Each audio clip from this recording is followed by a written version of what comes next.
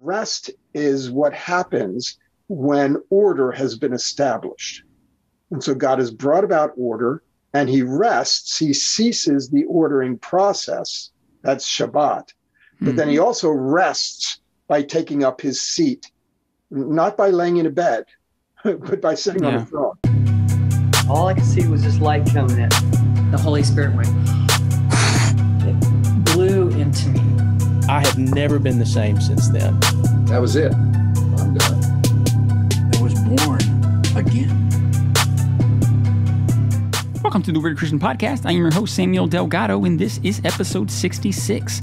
I interview John Walton about Genesis 1 through 3. We talk about his books, The Lost World of Genesis 1 and Adam and Eve, and how to read Genesis 1 through 3 from the ancient Near Eastern context. So, with no further ado, let's get weird. Welcome back. Uh, I'm excited. We've done two interviews on other books in your Lost World series, and but I feel like Genesis one um, is obviously the one that kind of started the entire series, and I've kind of been looking and reading a lot about Genesis, and I noticed uh, in almost every book that I'm reading about Genesis, they reference you. Um, and so I wanted to kind of start there and ask you about that because uh, this seems to have had a, a pretty big impact um, and influence on other scholars and their understanding of Genesis 1. So, um, you know, what's your response to the reception uh, to, to, this first book, the, the Lost World of Genesis 1? Yeah, that's a great question, Samuel. It's and good to be with you again. Yeah. Uh, the it's really difficult to gauge reception. Now you're right. I can track footnotes and things like that if I were so inclined to do so. Uh, but even that is just just a snapshot, just yeah. a partial picture. Um, when people ask me how my view is being received, well, it's a mixed bag. You know, it doesn't take a lot of hunting around on the the blogosphere to to figure out that there's a lot of people that don't like what I'm saying. Yeah. That have very deep disagreements and unfortunately, I think sometimes misrepresent me. Hmm. Uh, but yet, you're right. There are lots of books that are uh, echoing what I'm saying, developing what I'm saying, relying on what I'm saying, and that's always great. Um, I get emails from people that uh, indicate that you know they're really enjoying what I write. I get very few emails that um, that are complaining or arguing with me. But that doesn't mean those people aren't out there. So it's really a difficult thing to gauge. There's no sort of formal survey that's uh, statistical analysis. Sure. Yeah. So it's it's in that sense it's all anecdotal. It, it's all based on uh, who happens to write what, and uh, so I think that's it's hard to gauge. Yeah, yeah, that's, a good point. Um, and I have seen, uh, you know, sort of people that, that, disagree, but most of kind of the scholarship that I'm reading are, are kind of taking what you've written and, and, and really building upon it um, and using it to kind of bolster their their understanding as well. So. Um, but it is it's no surprise that some people would, would take issue with it because it is so drastically different than I think how we've often interpreted Genesis 1 and, and read through it. Uh, so for those, I, am hoping that most people listening are somewhat familiar because uh, I, I want to kind of ask questions that are uh, sort of an extension of, of your writing. Uh, but can you give us just uh, an idea of the, the basic premise of of your of your your first book, The Lost World of Genesis One, and what the, the premise of that that book is? Sure. There are two basic elements that come out of a central premise. The central premise is we should be reading Genesis as an ancient document.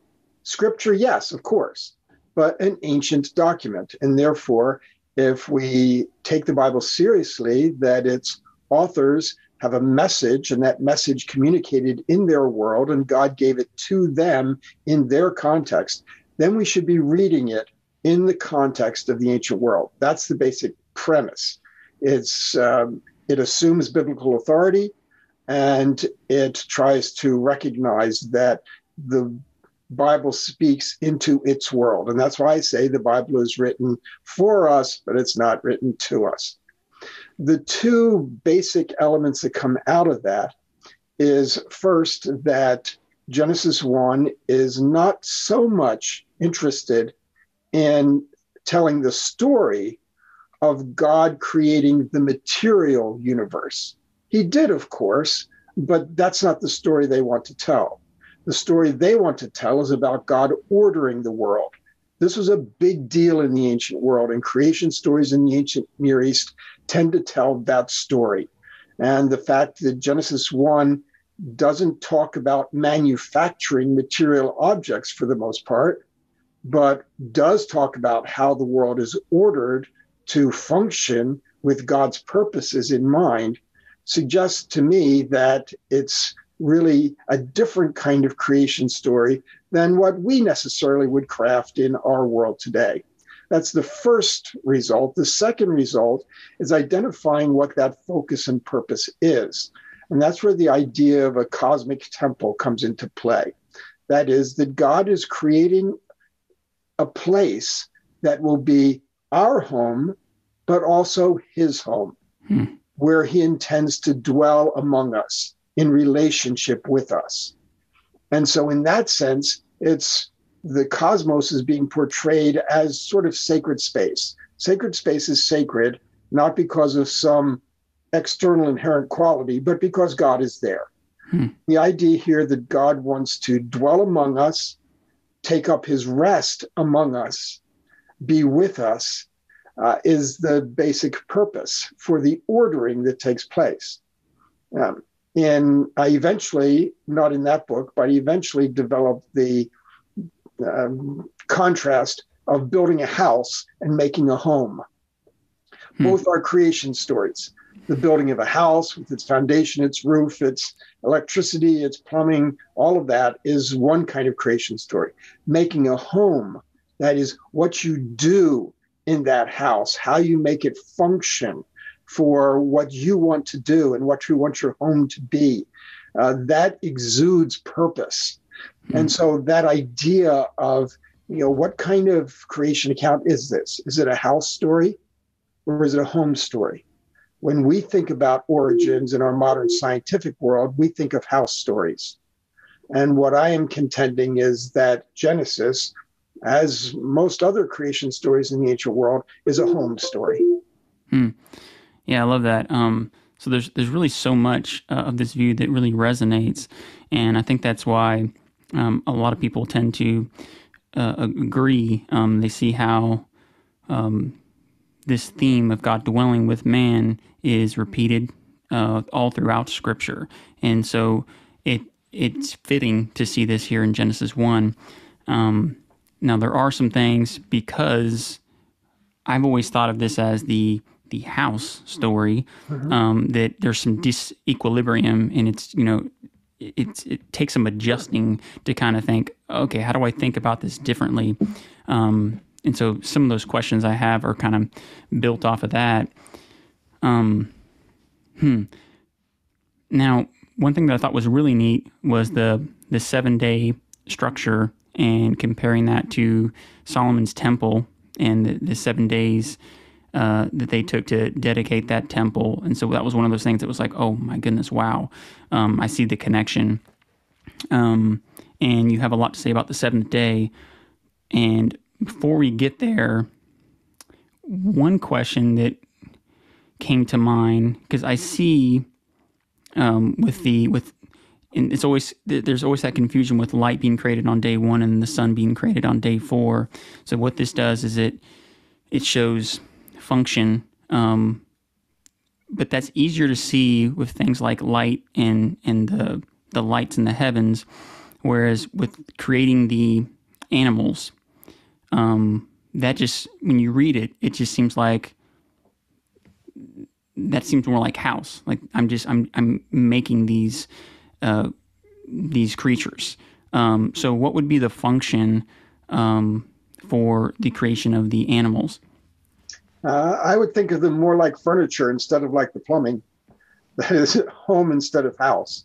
Uh, God is populating their world, his world. I mean, Yeah. it's, it's both. And so, to that extent, uh, he says, let let them emerge, let them come forth from the ground. Even that kind of idea, uh, where it's not describing a physical process, but rather that uh, that the the animals would uh, be part of the the home that God is setting up. And that's really important for people because as they subdue and rule, right, at the end of the passage in the sixth day, that involves the domestication of animals, the use of animals, the enjoyment of animals. Hmm. And so that all comes into the, the purpose statement. Uh, really, in, on day six, with the animals, is the closest you get to a physical material creation issue. But even so, it deals with populations, Hmm. whole populations uh, that uh, are brought into place. And so, again, uh, uh, you certainly can point to that and say that sounds material. But if nothing else in the text does, Hmm. then why should we think that materiality is the issue? Right. Yeah. So that's what I thought you were going to say because in studying this, one something that comes up is the the framework interpretation, where we see parallels between uh, day one and four, two and five, three and six, and within those parallels, we do see we create the sky, and then who populates the sky? The birds, and so that it, it seems to make sense. Um, Well, even It- in that even in that framework hypothesis, which I have no trouble with, that's an accurate description of the literary structure of the text. Uh, but even in that, uh, that begins to alert us to the fact that this is not necessarily a chronological sequence. Yeah. If you treat that structure as literary, then it's not necessarily chronological. And of course, I go the next step beyond that and say not only is that a literary issue, but once we see that we're dealing with kind of ordering the world and that we're prioritizing certain things over other things, uh, again, the the intention is not to present a chronological treatment. So both in terms of priority, functions, order, and in terms of literary structure, it turns us away from thinking chronological sequence. Yeah, and that's such a different way of thinking about it. Um, but it actually alleviates a lot of issues that you get when, when looking at it chronologically. I mentioned already the the, the, the sun and light. Um, but then you know a lot of people. Well, I'll get there next. But they they look to Genesis one as an origin story, and so we have a lot of different ways to look at the origins of the earth, the age of the earth, based on Genesis one.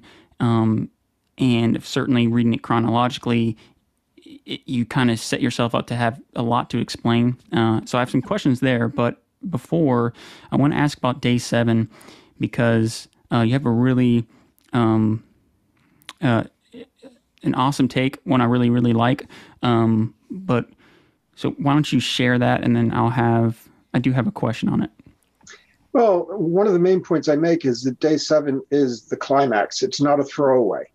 Uh, Hmm. So many people talk about the six days of creation, and day seven, oh, that's something about some Jewish celebration of the Sabbath. Yeah, and and it, it's it's gone. You know, Mhm. it's a it's um, a punctuation at, the- Hmm. at the end. And I think instead that it's the main point. That is that God is ordering the world because He intends to take up His rest in it. Hmm. Now, you don't get all of that detail, of course, in Genesis 1.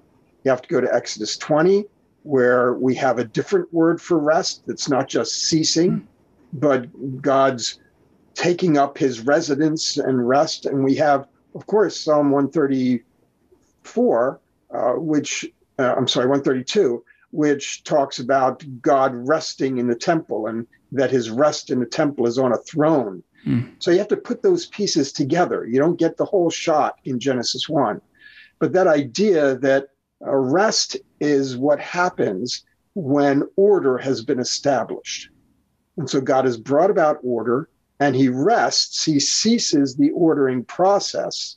That's Shabbat. But then he mm-hmm. also rests by taking up his seat, not by laying in a bed, but by sitting on Yeah. a throne, Right. which is really the big difference. That's that's the idea of day seven. God now is taking his throne which is with people in the cosmos, mm. so to speak. Mm. And so that gives us an understanding of the purpose. All of this ordering is with a purpose. Wow. And that suggests, too, that the seven days, uh, since they are so intimately connected with temple dedication in the Bible and in the ancient world, that seven days is not about a physical, material time frame.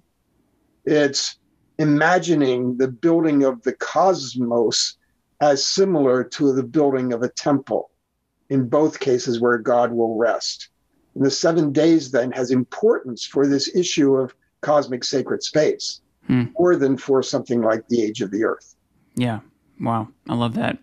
Um, and yeah, I think too often we sort of get caught up and we read it just kind of with this scientific mindset and we're just kind of looking at for for those type of answers about origins uh, and we miss um, this message that, that you just laid out. I actually think you answered my question uh, talking about day seven.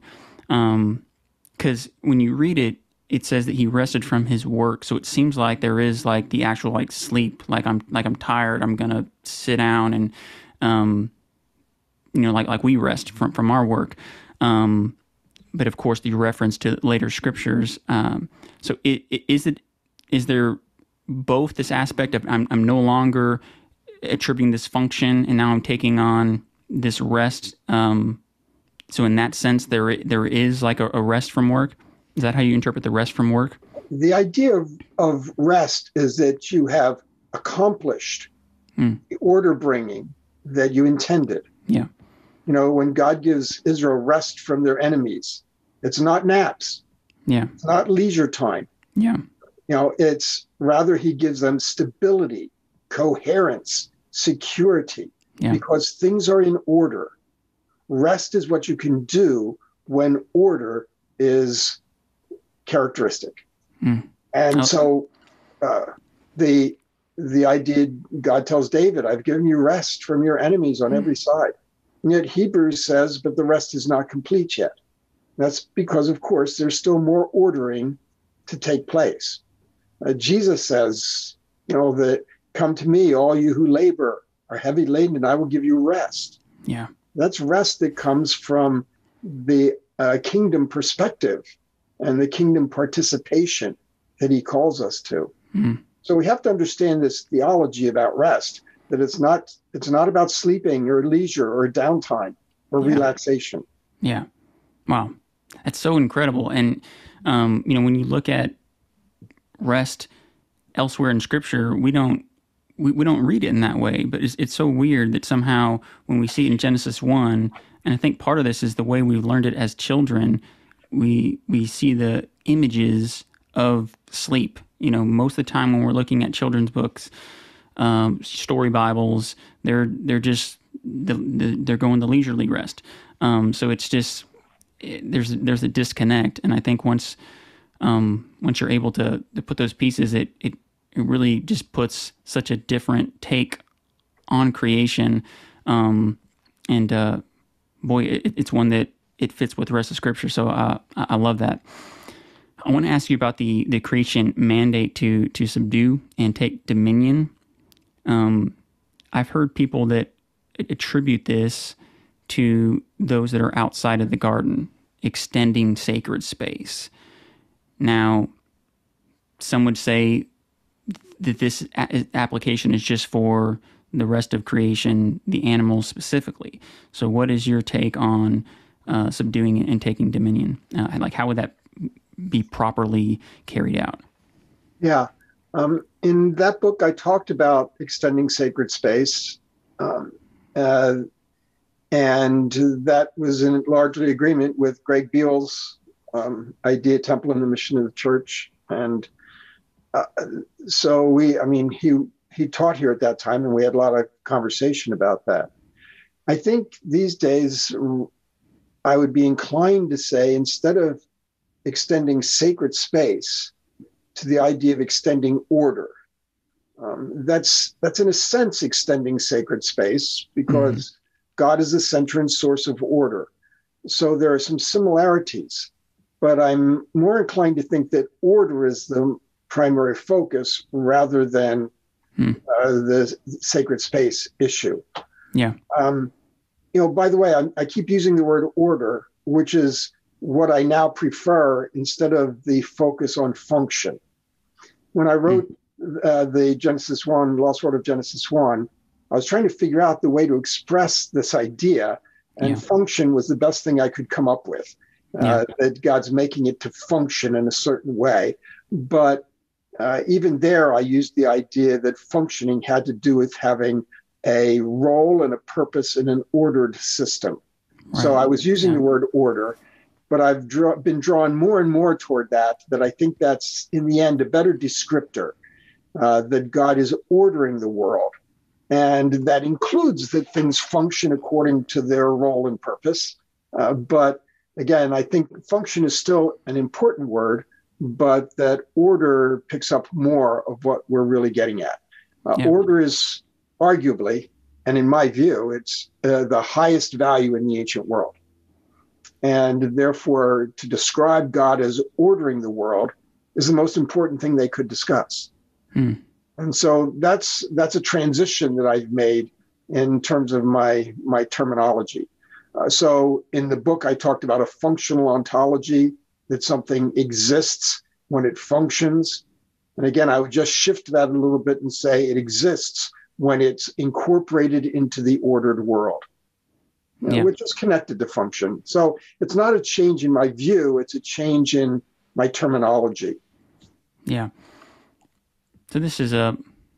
I don't know if there's anything you address in the book, but one one thing I see that comes up over and over again when I uh, study or you know read scholarship on on Genesis is when it was written, and of course we see um, the ancient mindset and influence uh, in its authorship.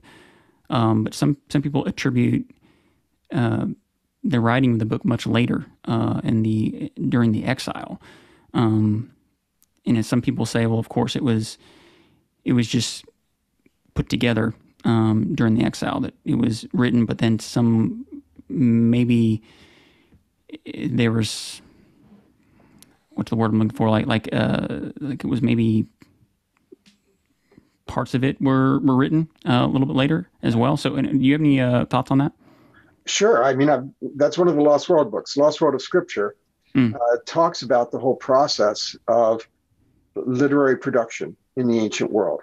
Mm. And it's something that we have very little understanding of today. Yeah. We talk about, you know, who's the author of this book when we talk about the Bible. You know, we start a Bible study. Who's the author of this book? Right. Well, that's a little easier when you're dealing with Romans uh, than it is when you're dealing with Old Testament Right. but the what we don't recognize is that um, the way we think about authors and books today has no comparison with the ancient world on how things worked. It was a hearing dominant world.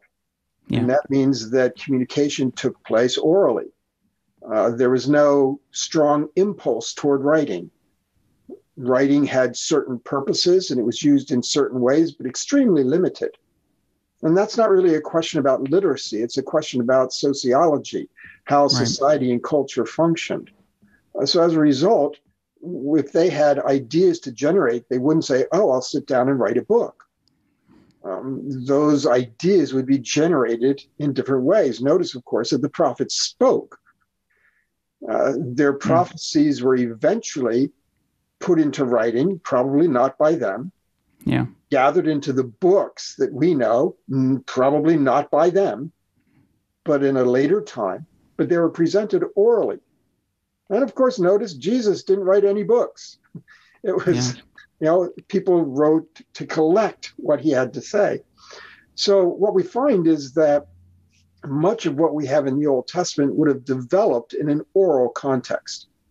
Now, at some point, those oral ideas, let me call them traditions, that's not to, to demean them, okay, but at some point, those traditions would find their way into documents, maybe a scroll or a papyrus scrap or a clay tablet or something, but probably in pieces.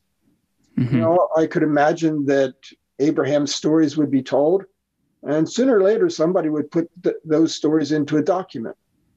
But then those documents are, are recopied, the stories are retold over centuries.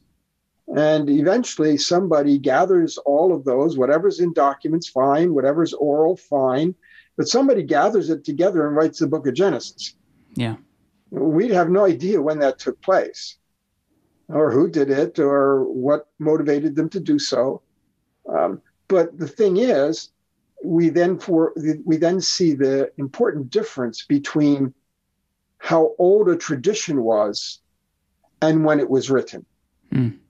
Right. The two are not necessarily related at all. Sure. Yeah. So we could imagine that these traditions come from very early periods. But when was the book of Genesis written is a totally different question. Right. Yeah. Yeah. Okay. So if it was compiled in the post exilic period, okay, that doesn't mean that it's all a creation of the post exilic period. Yeah. Of course. Yeah. Okay. So that's an important distinction. And again, I talk about that a lot in the Lost World of Scripture. Yeah. I'm going to have to pick that up. Um, cool. Uh, I always end up reading more books after our interviews because um, it because it comes up. Now, you you talk a little bit about origins uh, in the book, and a, lot of what I'm reading about Genesis deals with origins, and so a, lot. Of, uh, but of course, I don't. If I'm understanding correctly, um, with your interpretation, you could hold to your interpretation of Genesis one and still hold a, a young Earth, a progressive, or a, a theistic evolutionary view. Is that correct? My point is that the Bible does not give us yeah. a scientific view. Yeah, yeah. So there's no biblical view of the age of the earth, no biblical view of scientific models, no biblical view of you know those kinds of issues. You can talk yeah. about what the Hebrew word yom, day means. That, that's fine. That's that's a text issue. Yeah. But I would say that um, whatever view you might have of the age of the earth or of whether evolutionary processes were used or not, you're not getting it from the Bible. Right. And yeah. You may have reasons to think that one science or the other has more scientific value. That's fine. Uh, people have to make those decisions. So yeah. I'm not trying to promote a particular scientific view. I'm basically promoting an approach to interpretation that says the Bible doesn't give us a scientific view. Yeah, yeah. Um, now, despite that, a lot of people still it's an important issue, right? Um, sure. The, the, age of the Earth. Uh, you know, have you is that uh, a topic that you looked into? Do you have a stance on the age of the Earth or evolution? Well, if you're just looking at the science, there's really no dispute. Even young Earth people will say that the science tells you the earth is old. That's why they keep talking about right. appearance of age, right? Sure. Yeah. They wouldn't yeah. have to talk about appearance of age being created with appearance of age if the appearance didn't tell you otherwise. Yeah. So if you're talking only the science, there's really no dispute. The question yeah. is, does the Bible tell you something that's contrary to the science? Yeah. Again, in my approach, no, it doesn't. It's yeah, not absolutely. giving you science. Absolutely. Yeah, um, and, and and it's difficult because if for, I think for a lot of people they look at something like evolution and they see that the Bible clearly teaches something different, um, and therefore now they've juxtaposed these things, pitted them once uh, one against the other, um, and you're saying they're not necessarily mutually exclusive. Um, I'm saying really... that they are compatible. If someone's inclined to an evolutionary model, uh, they don't have to be worried that the Bible cuts that off. Yeah. Um, certainly, people who say there is no God cut that off, but that's not science. That's yeah. philosophy. That's metaphysics. Yeah. So the idea that um, if people are are persuaded or suspect that an evolutionary model works best, the Bible's not going to tell them that isn't so. Uh, certainly, the Bible doesn't describe an evolutionary process because it's not doing science. Yeah. When the Bible the Bible's interested in agency. Who did it and why? It's interested in purpose. And those are the things that I bring out. The Bible is not interested in mechanisms. How? Okay, what? Uh, the Bible's not interested in mechanisms. Science is interested in mechanisms. And but if the Bible's not offering mechanisms, except that God did it, well, God can do through any scientific process that He chooses. Yeah. And so the Bible's not interested in mechanisms, but in agency. Science is interested in mechanisms, and it can't address agency. Yeah. And in that in that way, they're really talking about different things, uh, both important things. But if that's the case, if the Bible's not addressing mechanism, then again, it can't be contradicting science, which only has an interest in mechanism. Yeah, yeah, absolutely. Yeah, I love that. I noticed that uh, theistic evolutionists they they, they champion uh, your view, this view of Genesis one, uh, for reasons that you just said. I mean, you know, with this view, there's there's there's there's no conflict, and um, I think it gets muddied a little bit because, uh, as you mentioned, also a lot of atheists um, hold to the evolution view as well, and so I think for for some people, um, that's why they kind of see evolution as something that's teaching that there is no God, whereas, um, you know, when we look at Genesis, we can't really read the read it as like a science book or something like that. Um, well, so certainly, it's, it's refreshing to hear that. Certainly, evolutionists attempt to commandeer evolution to their philosophy, their mm-hmm. metaphysics, their atheism. Mm-hmm. Okay, yeah, sure. Yeah, they are yeah, but it is it is an imperialistic act. They are commandeering it. Hmm. You can't do that.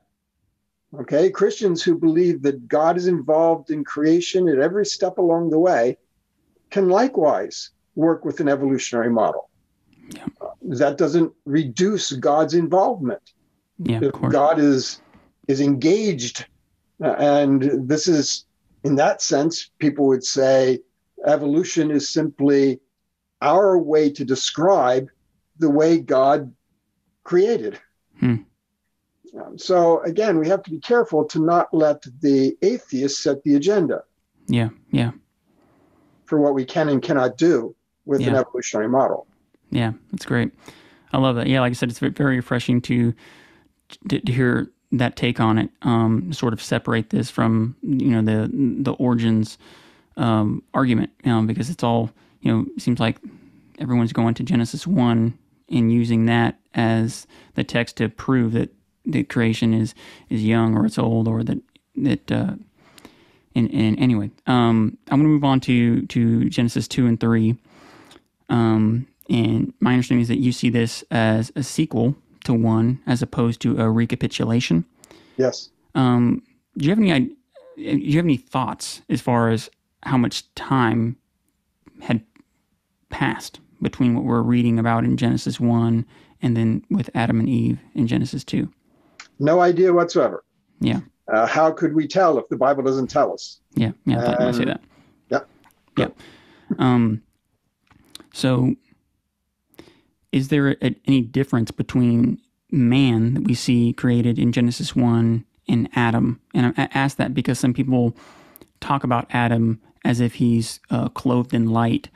Um, and anyway, I just, I, are we seeing basically the same the same man, or is Adam? Some people also see Adam as just one of uh, the the men that were created in Genesis one, where some people see Adam as created de novo, um, or just you know, in other okay, words, that's a bunch of stuff. parents. Yeah, that's a bunch of stuff. Okay, so in Genesis one, um, the whole idea is to tell us what humanity is, not some hypothetical, theoretical, mystical thing that he maybe at one time was.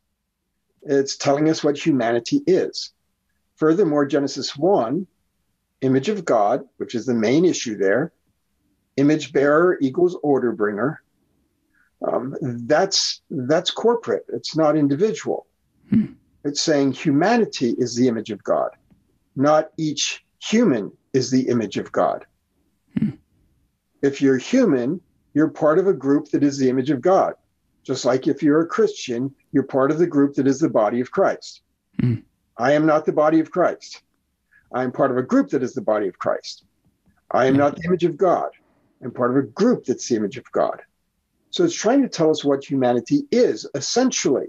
And that is we are image bearers, meaning that we are order bringers. And by the way, that gets back. I'm not sure I fully answered your question about subduing and ruling. Yeah. Subduing and ruling is the way that it describes bringing order. And that certainly involves the animals, uh, domestication. Uh, it certainly involves um, plants and things of that sort.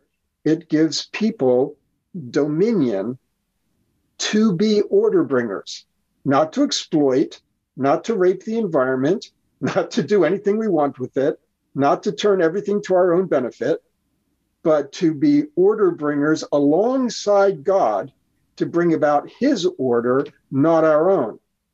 The problem with the fall was that we decided that we wanted to pursue our own order, not his.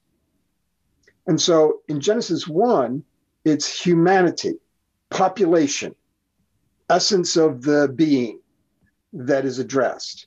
In Genesis mm-hmm. 2, it's going to address something very different because now we have Adam and Eve. They're not they're not mentioned in Genesis 1.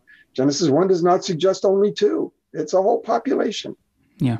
Uh, but now uh, Adam and Eve have a very particular role to play, and chapter 2 is going to address that. Gotcha. Now, you um, mentioned de novo. Do you want me to say something yeah. about that now? Yeah, please. Yeah. Okay. Lots of us get de novo, or lots of people traditionally have, out of Genesis 2 7. Um, and that's problematic. Um, the way that it's read in the translation is that God created hum- or formed humanity from the dust of the ground.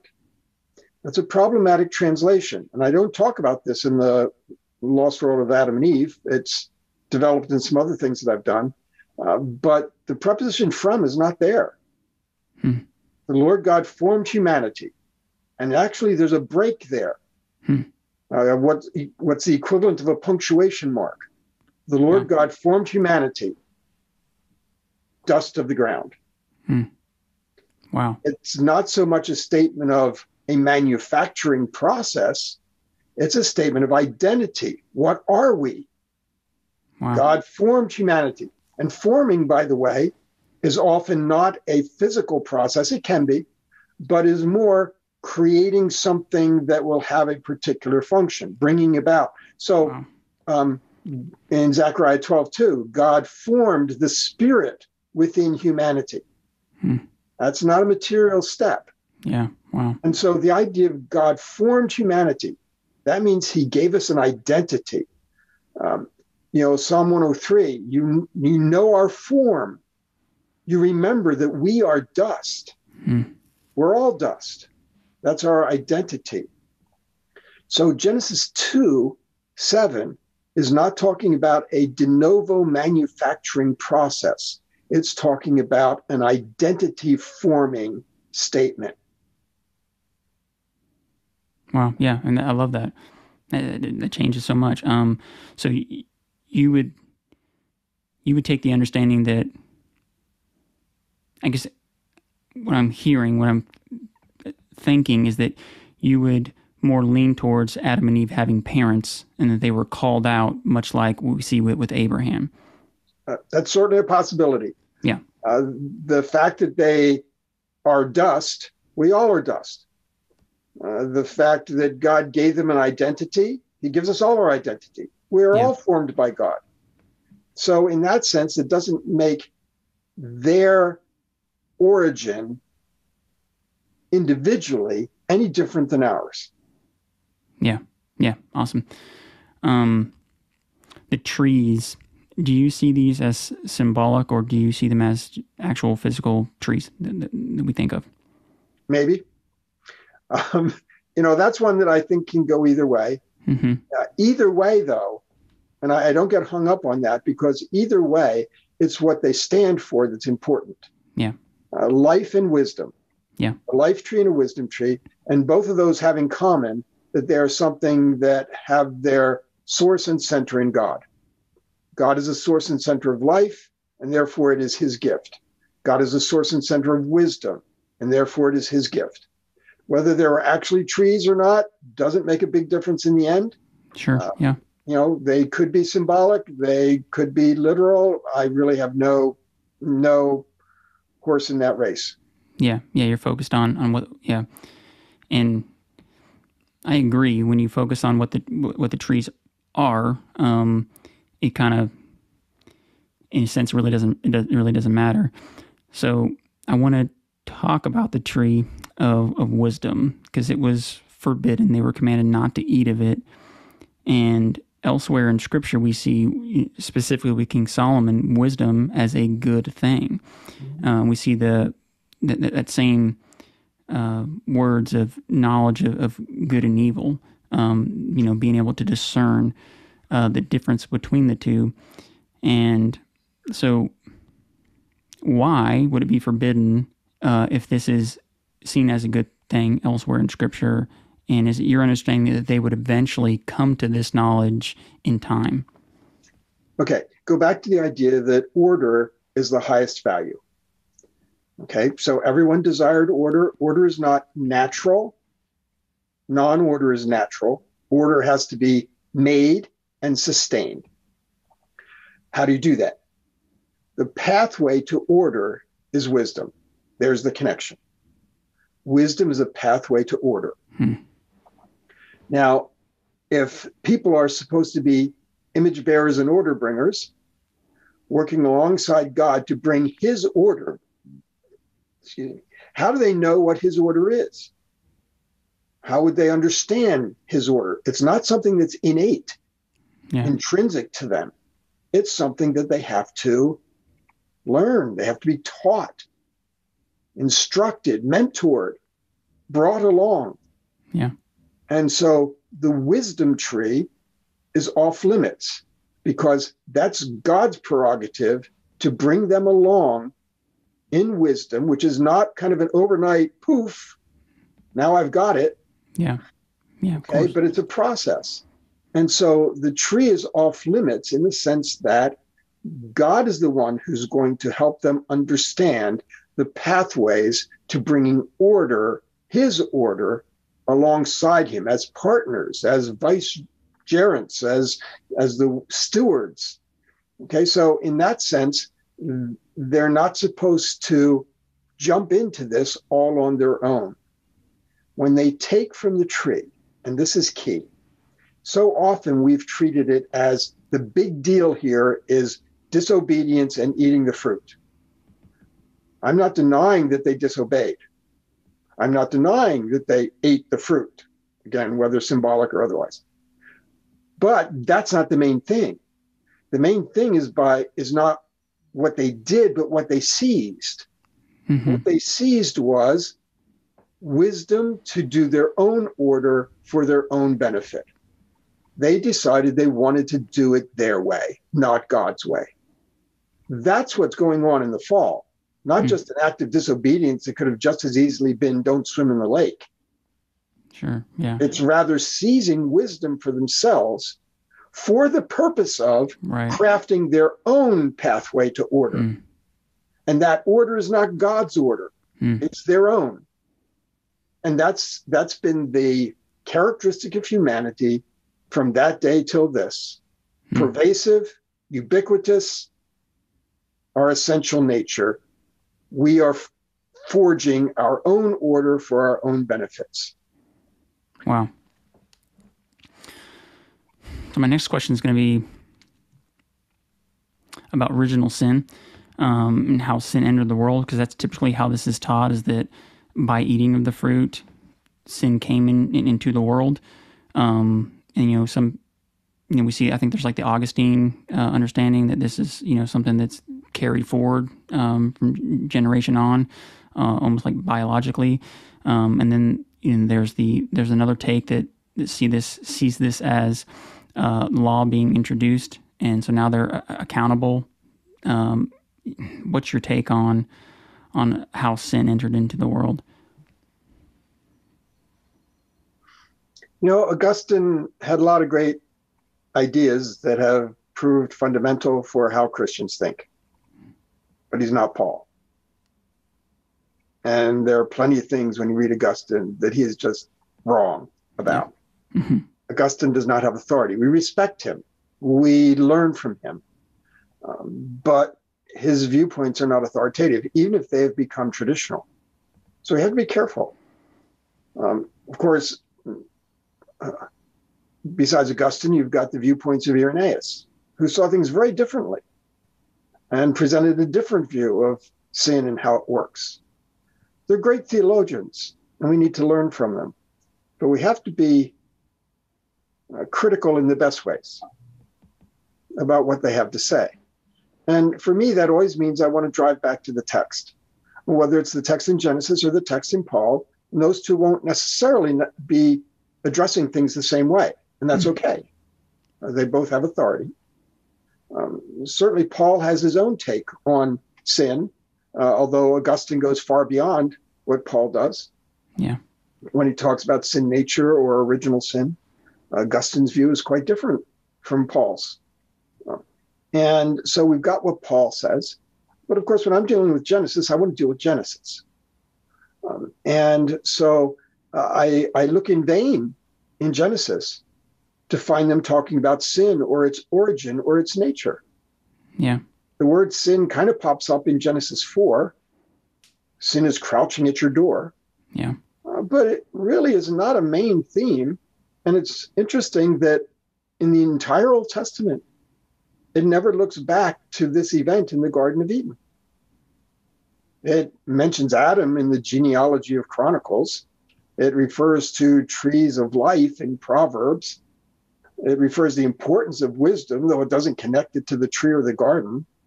It refers to the Garden of Eden in places like Ezekiel 28, but it doesn't really talk about this incident. It never comes back to the serpent. Yeah. Um, so for the Israelites in the Old Testament, they were not tracking this big theme of sin and sin nature and original sin, going back to the garden and the fruit and the, and the snake. Yeah. It just wasn't that significant to them. So if you're thinking in an Old Testament context, I think that aspect has to be recognized as being not as big a deal as it becomes in Christian theology. And that's not to somehow demean Christian theology, but is text important or isn't it? It, it yeah. is. Mm-hmm, I'll answer that. And so we really want to try to understand what Genesis is doing before we get to Paul and find out what Paul does with Genesis. Because Paul's not so much talking about what Genesis is doing, but he's doing something with Genesis, and that's fine. He's inspired and he's got the authority to do that. But that's still something that's that's a different level. And then of course we find out what Augustine does with Paul. Now these are all steps in the process. Sure, yeah. Um Okay, I got you. Um, I know this stuff's so hard to wrap your brain around, isn't it? It, it really is. Um, yeah, um, I'm trying to think. I, don't want to follow up on that because I want to make time for um, also same event. Um, by eating the fruit, um, you know, their eyes are open. Before that, uh, there was no shame in their nakedness. Uh, elsewhere in Scripture, we see nakedness as something that there should be shame for, but there is no shame. Um, so it seems like there's uh, like a childlike innocence here. Um, and so, following through with eating the fruit and their eyes being opened, it seems as if something, you know, something happened um, that, as a result, they realized their nakedness. Um, so, was something did something biological happen there? Um, and do you follow, um, or would you adhere to this idea that they were? They had a, like a childlike innocence prior to the uh, to, to eating the fruit. Childlike innocence would be one way to describe it, but I go back to my word order. In the ancient world, nakedness was considered characteristic of those who were primitive, had not yet come to understand order, which in Mesopotamia particularly was was found in civilization. Civilized people wear clothes. Yeah, yeah. Civilized people have a sophistication and an understanding of what constitutes order. And so nakedness is used to describe those who are uncivilized, primitive, not yet having achieved the order of civilized life. It's possible that in the Bible it's no different in this on this count. That is, that their nakedness and being unaware of it suggests they have not yet gained the wisdom that would lead to order and a more sophisticated understanding. When they took wisdom for themselves, one of the results was their eyes were opened to a more civilized way of thinking. And they said, Whoa, we don't have clothes on. and that's not mm-hmm. a good thing. Yeah. Um, so those are the terms that I think, instead of, again, I think it's Augustinian terms that they were clothed in light. Yeah. You know, yeah, yeah. Um, I tend to think in the ancient world terms uh, that nakedness is connected to non order. Hmm. Okay. Yeah. So you actually uh, anticipated my question about, about being clothed with light. Um, that was kind of in the background, but I didn't ask. Um, that was cool. Uh, the serpent, uh, do you see the serpent as coming from outside of the garden, or do you see the serpent as being native to the garden? Um, we're, it's not even clear in the text that the serpent is encountered in the garden. In the garden, hmm. yeah, you're right. Um, you know, we the the typical art has them entwined in in the forbidden tree.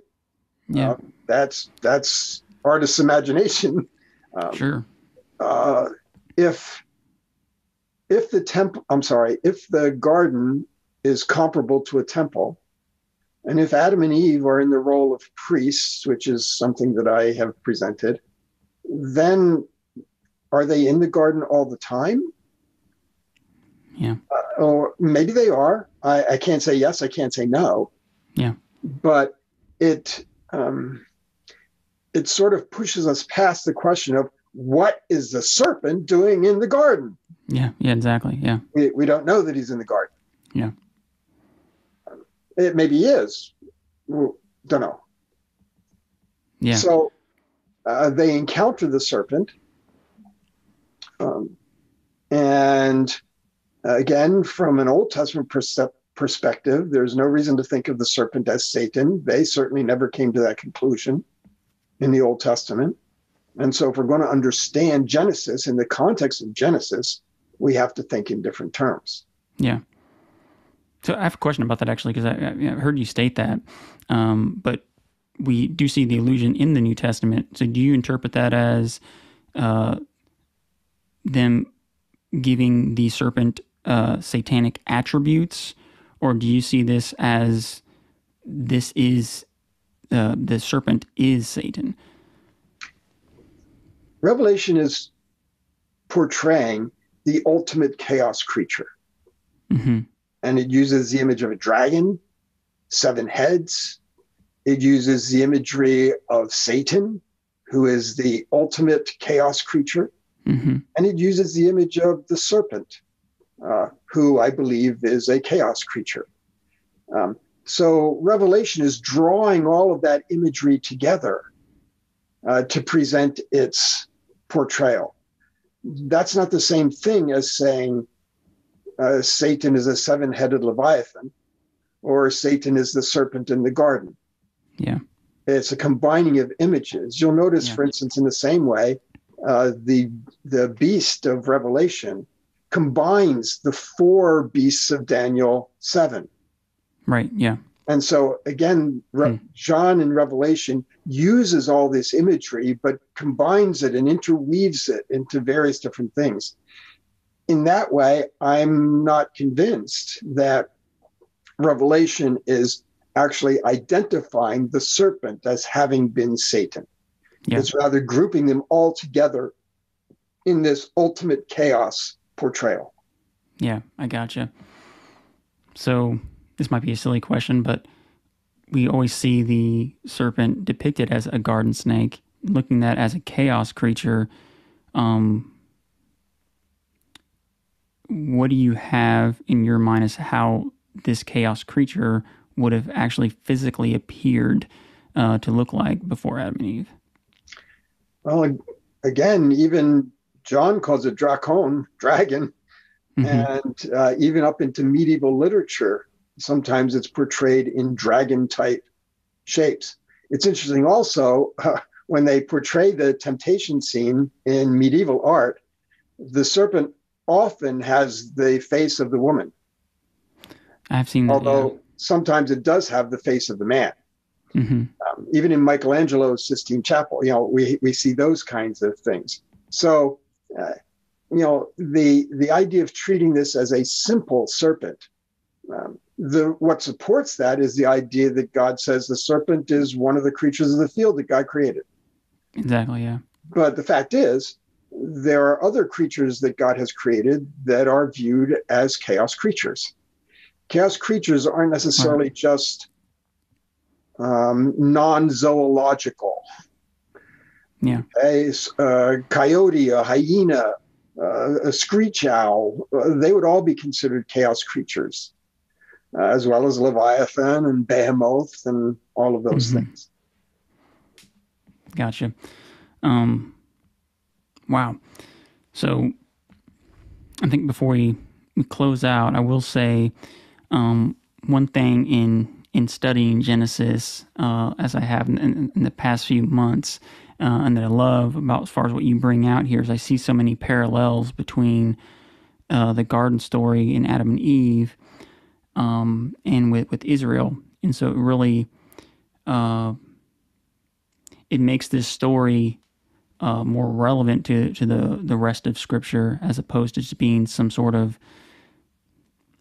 it, it's we uh, it's almost like it's in this, a whole separate box if you look at it um, almost in the traditional sense there's kind of a, a disconnect and it, it kind of comes across uh, as um, almost fantasy.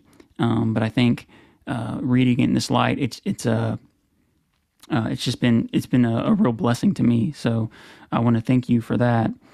Um, yeah and there's probably more uh, I could ask um, I think I think we covered uh, most of what I wanted uh, to talk about. Um, yes, yeah, so I'll invite you to say anything else, and I think we can close up.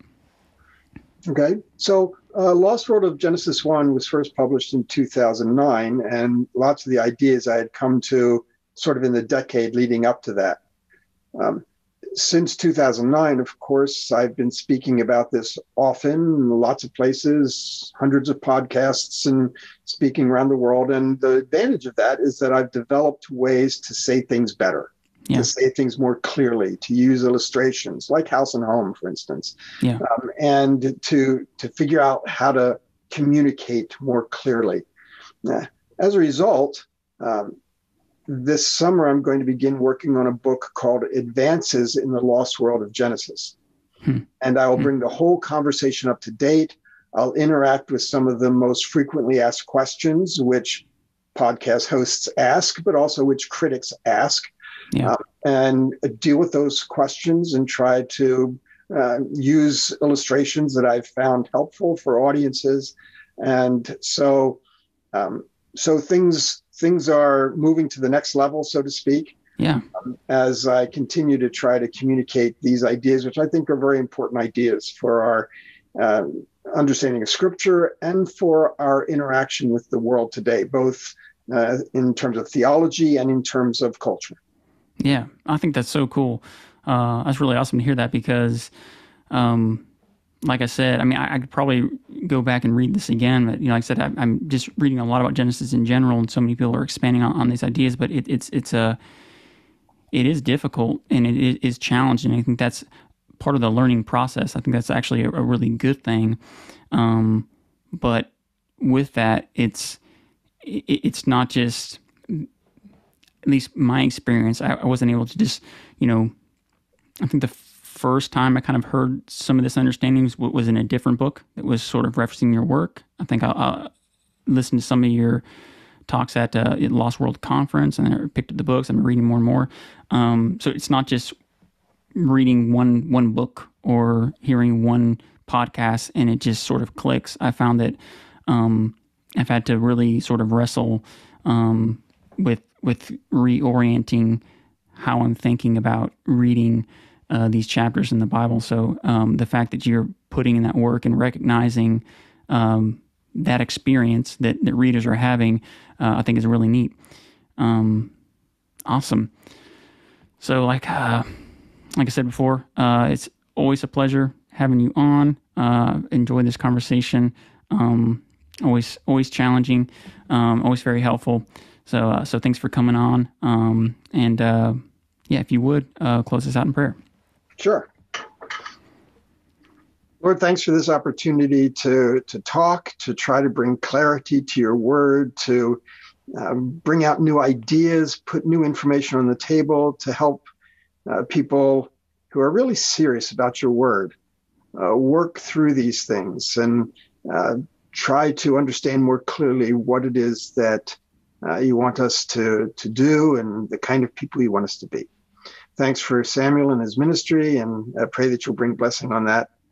And uh, for all those listening, we pray that uh, you will help them to, to think well about Scripture. We pray in Jesus' name. Amen.